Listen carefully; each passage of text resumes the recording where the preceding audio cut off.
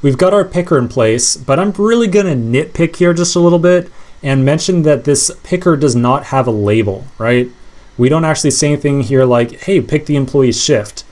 Users really need to know what they're selecting here, so we should really make sure that we have a label here as well. So to add in a label, we will make a separate component this time around just because you know we have to kind of specify the days of the week here. It's a lot of customization for a reusable component. I think that this is maybe a reasonable case to just have the raw picker in here. To add in a label, we will need to import a text element from React Native as well. We'll place a text element in the card section right above the picker, and then we'll style it appropriately to make it look like a label. So up at the top, I'm going to import my text tag from React Native, and then back down right above the picker, we'll add in our text. Oops. And I think it would be appropriate to just have this thing say shift you can have it, you know, something more appropriate might be like select a shift. That might be good as well. And I'm going to give it a style of styles dot picker text style. Uh, maybe also picker label style might be appropriate as well. All right, we, we have not yet defined our styles object, so let's scroll down to the bottom and make sure we define that. So right above map state to props, say const styles is an object with a picker text style. This will have a font size of 18 and a padding left of 20. So just some something to dial up the size and the padding left is going to make sure that it stands off from the left hand side of the form and lines up nicely with the name and phone here as well. All right, let's do a quick refresh and see how this looks.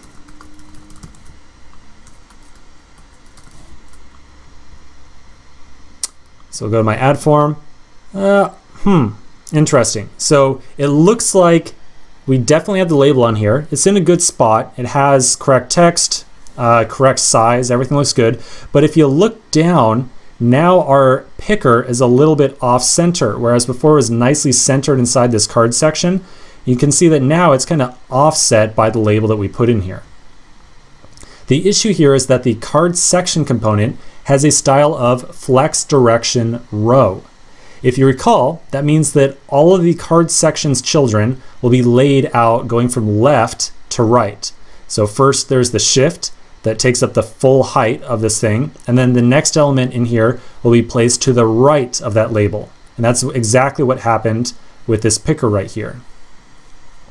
So for this particular card section, we really want to have a layout going from top to bottom or a flex direction of column. In other words, we want to override this very specific card section style with some custom style that we can pass into the card section right here as a prop. So we need to make sure we can override the styling inside of this very particular card section right here. So that's the goal. There's really no great uh, lead in I can give you for the methodology here. This is definitely one of those places where we're going to throw the code on the screen and then talk about how it works. So inside my employee create form, here's my card section. I'm going to give it a prop of style. And then to that, I will pass an object with flex direction column. Now I want to point out to you that on all of the primitive elements that we've used so far, like text or picker or uh, touchable opacity, whatever it might have been.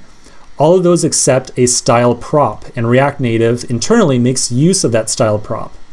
This card section here, however, it is a it is a component that we put together, and there is nearly no property that will be automatically consumed for us or automatically used when it's a component that we put together.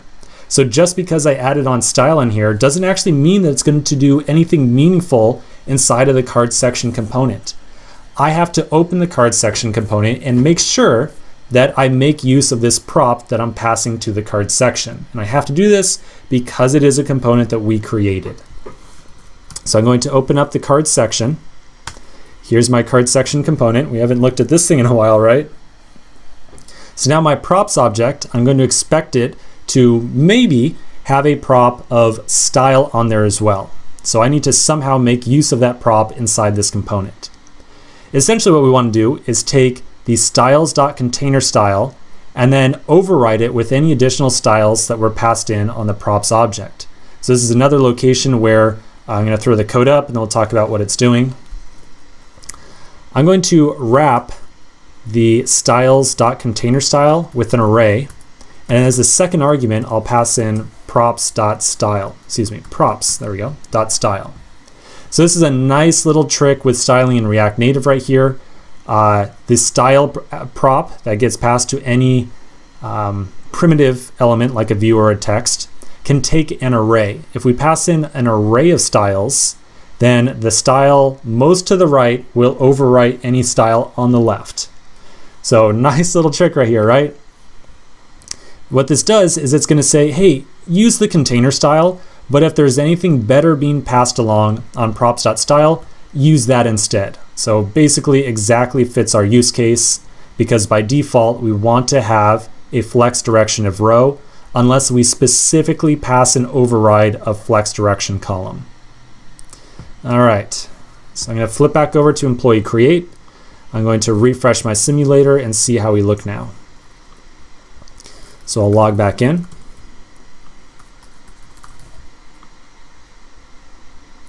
Go to my form and hot dog. This looks a lot better now.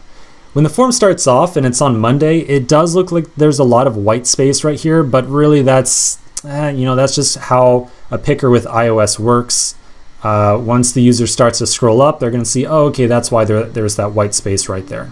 So certainly when I start to go to like Saturday, it is very clear why there's the white space above the Monday on the form. Okay, this looks good. I think we are finally just about ready to start saving the data that this form is producing. Let's take care of that in the next section.